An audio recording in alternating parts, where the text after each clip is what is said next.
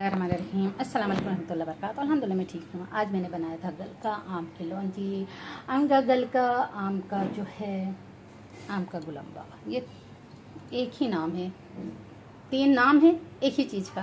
तो ये बहुत अच्छा माशाल्लाह से बना था और हमारे में सबको बहुत पसंद आया, सबने बहुत अच्छे से एंजॉय किया। आप इसको रोटी से, चपाती रोटी या पराठा से या दाल चावल के साथ भी खा सकती हैं, बहुत इंजॉय करेंगे आप। ऐसे भी ले लें प्लेट में और खाइए बहुत अच्छा लगता है, बहुत टेस्टी ये बनता है।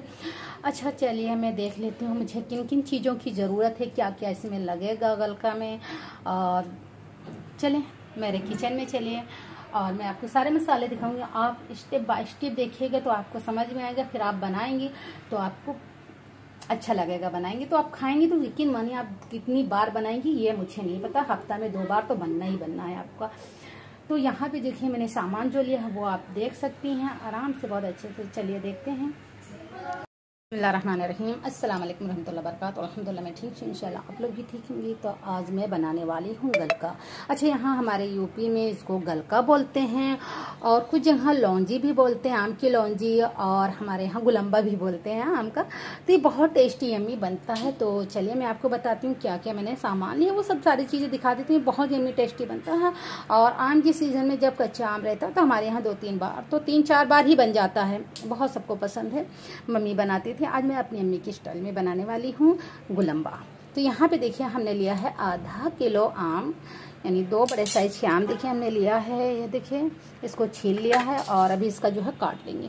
और कुछ हमने मसाले लिए हैं। हमने खड़े मसाले में लिया है दो चम्मच जीरा, सफ़ेद जीरा, हाफ़ टी स्पून छोटे चम्मच से हमने लिया है हींग, दो चम्मच हमने लिया है सौफ और छोटी चम्मच से आधे चम्मच हमने लिया है मेथी। मेथी ज़्यादा नहीं डालिएगा नहीं कड़ी हो जाए। आधी चम्मच हमने लिया है कलौची और यहाँ पे हमने कुछ जो है मसाला पाउडर लिए हैं तो यहाँ पे देखिए हमने धनिया लिया। अगर आपके पास सखी धनिया है तो उसको एक चम्मच लीजिए और थोड़ा सा रोस्ट करेंगे तो तो क्रश कर लीजिएगा, थोड़ा सा दर दर सा पीस लीजिए। वो उसका बहुत टेस्ट अच्छा आता है। लेकिन ये भी घर का पिसा हुआ है रोस्ट किया हुआ तो मैं ये पाउडर यूज़ करें एक चम्मच हमने लिया है धनिया पाउडर एक चम्मच हमने लिया है कश्मीरी लाल मिर्च पाउडर और ये तीखी वाली लाल मिर्च पाउडर है, एक चम्मच है।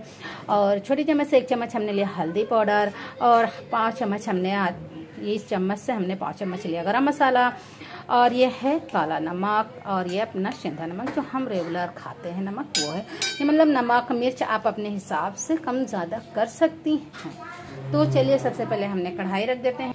सॉरी, पहले इसको काट लेते हैं। अच्छा तो यहाँ पे देखिए, हमने कच्चा आम बोला था, मेरी बेटी बोल रही है कच्चे आम को कैरी बोलते हैं। अच्छा यहाँ पे हमने कैरी को इस तरह से काट लिया है, देखिए।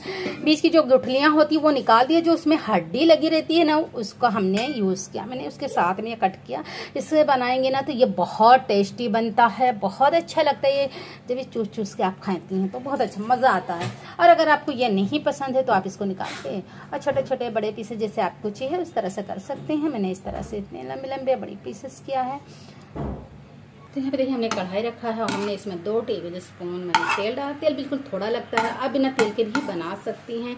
मसाला को थोड़ा गर्म करिए, रोस्ट कर लीजिए, हल्का से भून लीजिए और उसमें आम डालिए और थोड़ा पानी डालिए। तो ये अच्छे से हो जाता है बिना तेल के भी। यहाँ पे लेकिन मैं तेल यूज़ कर रही हूँ तो दो चम्मच तेल में तेल गर्म हो गया है। तो हमने जो आपको खड़े मसाले दिखाए थे, ये सारे मसाले इसमें डाल देंगे और साथ में हिंग भी डाल देंगे। और इसको थोड़ा से पका लेंगे ताकि अच्छे से, और बिल्कुल स्लो आँच के पकाएँगे ताकि इसका फ्लेवर अच्छे से निकल के आ जाए। ठीक है? तो यहाँ पे देखिए हमारे जो खड़े मसाले अच्छे से हो गया इसमें से मसाले से बहुत अच्छी खुशबू आने लगी है तो अब इसमें डालूँगी आम। आम को थोड़ा सा इसमें पका लूँगी। इसको भून लूँगी मसाले के साथ अच्छे से। यहाँ पे देखिए हमने एक मिनट के लिए आम को मसाले के साथ अच्छे से भून लिया। देखिए पूरा मसाला एक दूसरे से चिपक गया। अब मैं इसमें डाल दूँगी एक कप पानी। इसको जो है पका लेंगे 80 से 90 परसेंट तक पका लेंगे ताकि ये अच्छे से गल जाए। ठीक है? उसके बाद गुड़ वगैरह सारे मसाले बाद में डालूँगी। अच्छा यहाँ पे देखिए हमने छः से सात मिनट आम को पका लिया है और ये अच्छे से मसाले से गल गया है, आप देख सकती हैं। ये देखिए, ये ये गल गल चुका है जितना मुझे चाहिए, अस्सी से नब्बे परसेंट तक हमने इसको पका लिया। अब इसमें जो हमने मसाला आपको दिखाया था, वो डाल देती हूँ इसमें। अच्छा नमक, मिर्च, आप अपने अकॉर्डिंग डाल सकते हैं जितना आपको पसंद हो, ठीक अच्छा यहाँ पे आप अगर डालना चाहती हैं वो चाट मसाला तो half teaspoon chaat masala भी डाल सकती हैं। अब मैंने आधा किलो आम लिया था और अब यहाँ पे डाल दी हूँ मैं 200 ग्राम गुड़। अच्छा अगर आपका आम खट्टा है तो आप जो है 250 ग्राम डालिएगा। नहीं, मैं, आपका कलमी आम का है तो अब 200 आप 200 ग्राम गुड़ डाल सकते गुड़ या शक्कर दोनों डाल सकती हैं, कोई सा भी आपको गुड़ का पसंद है तो गुड़ का डालिए, नहीं तो शक्कर।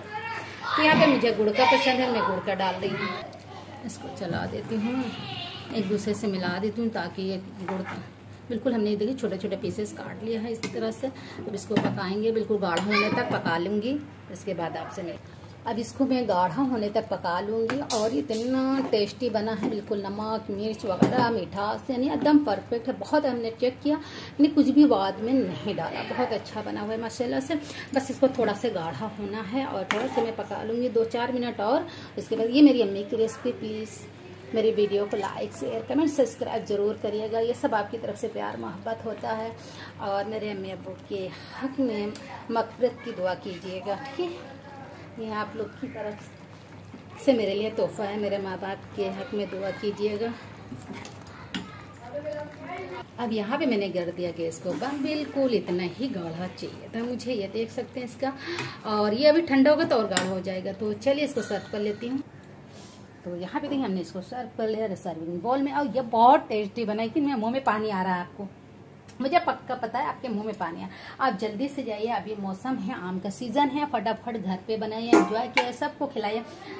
जो भी फैमिली में है, सबको पसंद आएगा ये गलका, या इसको गलका लॉन्जी आम लॉन्जी और गलका, और हमारे यहाँ तो गलका और इसको क्या बोलते हैं? गुलम्बा। मेरे यहाँ तो गलका और गुलम्बा बोलते हैं। आपके यहाँ क्या क्या बोलते हैं, ये बताइएगा। और लॉन्जी भी कोई कोई बोलता है। अभी तो लॉन्जी अब नया है। तो चलिए, यहाँ पे होती है मेरी वीडियो क्लास La Hafiz.